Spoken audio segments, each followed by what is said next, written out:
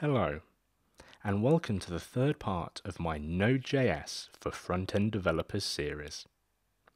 In the last part, you were introduced to Express and routing in Express. In this part, you will learn about RESTful APIs, and we'll lay out the API we want to produce and decide on how we're going to store data to power this API. I've used many REST APIs in the past even created some of my own, and yet I found it hard to come up with a concise definition of what they are to give to you. So I did some Googling, and here's what I came up with.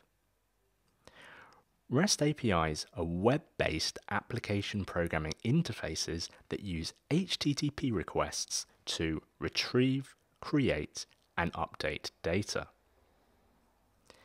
Different HTTP methods, for example get, post, put, delete, are used to communicate with the API.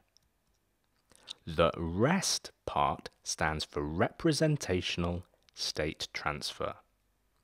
All this really means is that you use the correct type of HTTP request based on what you want to do. The API can be implemented in any programming language you want since the interface the user of the API programs to is just HTTP. So, for example, a GET request to slash user slash 123 would retrieve the details of the user with an ID of 123, whereas an HTTP delete request to the same URL would delete that user. This makes a lot of sense. This is basically where the formal standards for REST APIs begin and end. Beyond this, there is no exact specification on how REST should work, which does lead to many different implementations. These are some of the general rules of REST. Here, I give a request type, a sample URL, and what should happen when such a request is made. So a GET request to slash user should return a list of all users, or perhaps users filtered by a query string or pagination. A request to a GET request rather to slash user slash 1198 should return the user with the ID of 1198 or a 404 not found if it doesn't exist. A post to slash user this would create a user with the data given in the request body, returning data for the user, including its ID. Um, so the request body would probably contain something like JSON representing a user in this case. And now there's a put request to slash user slash 1198. This should update the user with an ID of 1198 with information given in the request body, just like with the post, or create this user if it does not exist. Finally, a delete request to slash user slash 1198.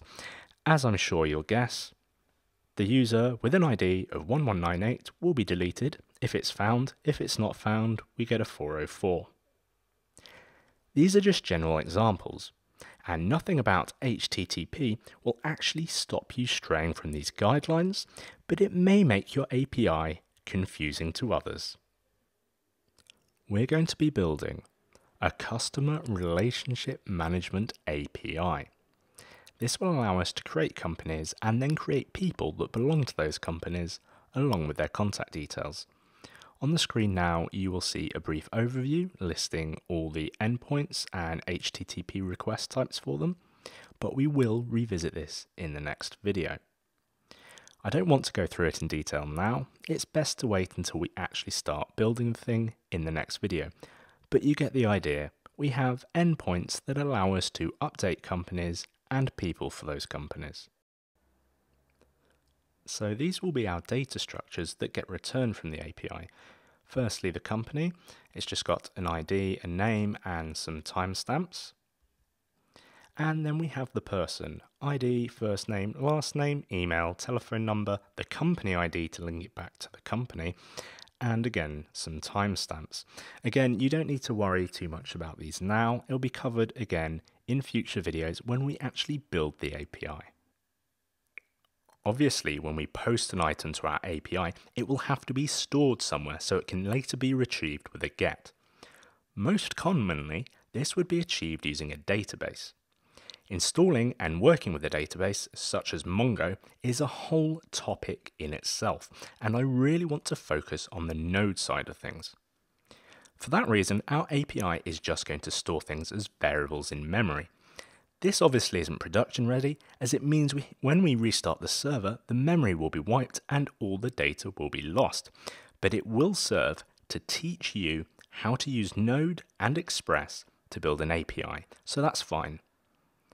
I realised there wasn't anything in the way of coding in this video, but it was important to lay out the fundamentals of REST and what we're going to be building first. In the next video, I'll show you how to use Node to create the get, delete, put and post routes for a company. Make sure you subscribe and also click the bell-shaped icon to make sure you get notified of my future videos as soon as they're released so you don't miss the rest of the series. Mailing list link is in the description, so sign up for that and you will join over 1000 subscribers on there who get my regular emails about JavaScript and tech careers.